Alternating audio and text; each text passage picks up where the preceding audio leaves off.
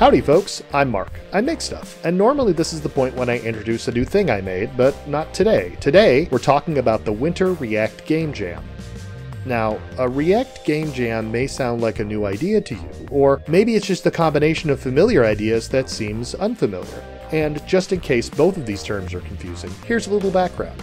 Let me back up a bit. The Earth, four and a half billion years ago. The planet that would one day be our home is a smoking ball of molten iron. Sometime later, developers at a company formerly known as Facebook helped to create tools for making single page applications and called it React. React is a JavaScript library, and not a framework as I am continually reminded, for making stuff meant to run on web browsers, mobile devices, uh, pretty much anything. And it's everywhere. For the sake of fairness, I will now mention that other libraries and frameworks exist and are perfectly wonderful. And side note, React is great for rapid web development, but it's not the first thing you think of when it comes to building games. Managing game assets and global state can be tricky for fast-paced games, and like all web-based apps, performance is going to be a constant concern. But it turns out that with some optimizations, tweaks, and a bit of memoization, you can leverage React's speedy virtual DOM to do some pretty interesting things. So, what is a game jam? Well, about 20 years ago, a group of cartoon characters recruited human NBA players to help win a basketball tournament in outer space. And a game jam is almost exactly the same thing, except the cartoon characters are indie game developers, working very hard over a limited period of time to make something fun, interesting, and aligned with the event's theme. In this case, teams had only 10 days to create their game, starting just after Christmas. As someone who commonly spends three to four months making games that I often don't even release, I'm floored by the idea of making a React game in just over a week. Truly, anyone who participated in this has my respect. I was given access to all the entries earlier this month, and I have to say, I was blown away. Revealed on the first day, the theme was cooperation. So it's not a theme that could be addressed presentationally by reskinning an existing idea. You really had to think through how to incorporate cooperation into your game's core mechanics. Maybe the player needs to partner with NPCs to accomplish a task. You could even try multiplayer co op if you think you can swing it in 10 days. There were a ton of possibilities and a limited time, so teams had to think fast. We'll be talking about some of my personal favorites in no particular order. Alright, ready? Let's dig in. Food Crush. Here we have a simple tile based crush game. I don't have a ton to say about this one, you just drag the images over the other images to swap them. If they had more than 10 days, it would have been nice to see some CSS animation here, but I really like it. I'd love to see the source code because I'm guessing with all these tiles, they probably use some kind of optimization methodology like memoization to reduce unnecessary re-renders. Very nice. Also, it's got dark mode. Miners and Traitors. Here is a turn-based game where you select tunnel sections to place on the grid to help your group find treasure. Your teammates can help you or hurt you, which I imagine is the meaning behind the title. It works quite well. You can imagine this as a tabletop card game. In fact, it seems like it may have been inspired by one. The UI takes a little getting used to, but I really enjoyed poking around with this while crossing my fingers that my team didn't betray me. In my case, I was having some trouble finding other real time players, so I played against AI bots. Reverse Pac Man. I have a soft spot for this kind of creative approach. Take an existing idea that you know works and turn it on its head. Years ago, I made an inside out pinball game with the same spirit. Here we have a game that gives you a chance to do what you always wanted to do chase that smug little Pac Man around the screen and body check him against the wall of the maze.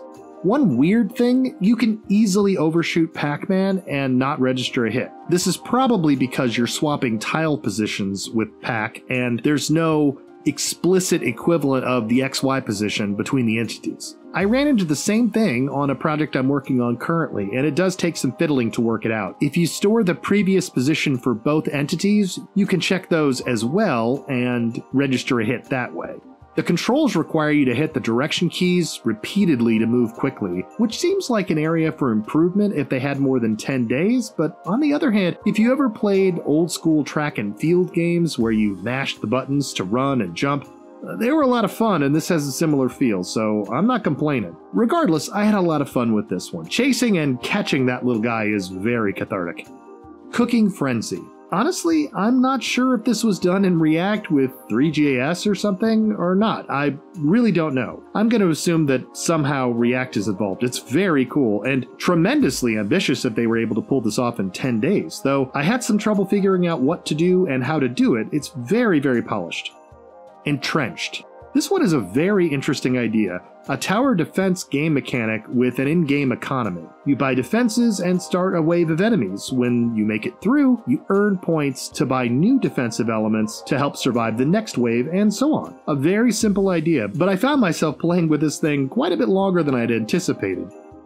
Clean the Park. Here is a simple grid-based game for two players. Tap the trash to make it disappear. Match three items and plant a tree you can almost forget all the matching stuff and just play it like co-op whack-a-mole. We have some layout issues here that could be the result of the way the Rune app interprets the CSS versus the way it was interpreted by their browser. I, I don't know. This is definitely one where it would be really fun to play it with a friend in the same room, so you could see them get stressed and gasp as they barely miss a combo or the pace increases as the game progresses to ratchet up the tension. Really fun stuff. Dragons in Dungeons.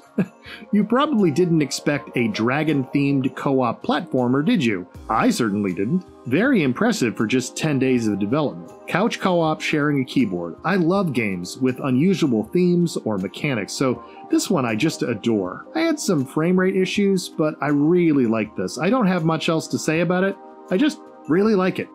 Cooper and Onita Midnight Snack.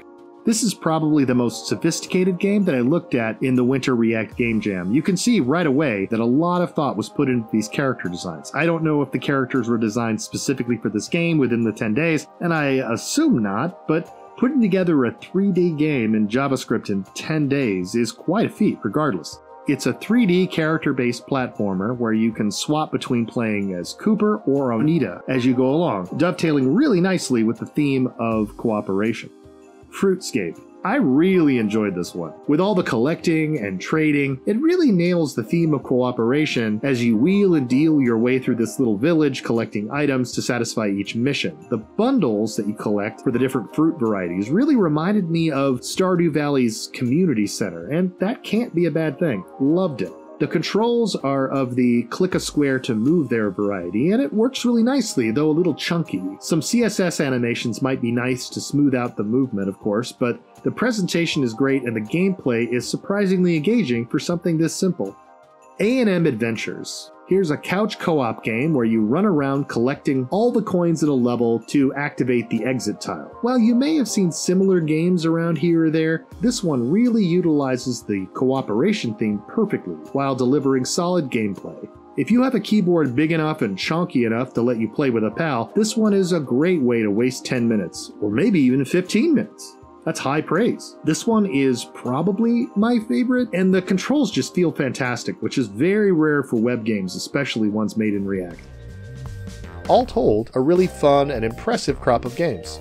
If seeing these inspire you to make your own game for the next React Game Jam, well, that's sort of the point of this video. I mean, I'm not doing this for my health. My fondest hope for you, and yes, I definitely do mean you, is that you'll head to reactgamejam.com for details on the next event and make something cool. And in the process, you'll learn something new, or just express an idea that you had rolling around in your head. Both, if you're lucky. That's all I've got for now. Thanks to the React Game Jam folks for letting me peek at these games. Bye.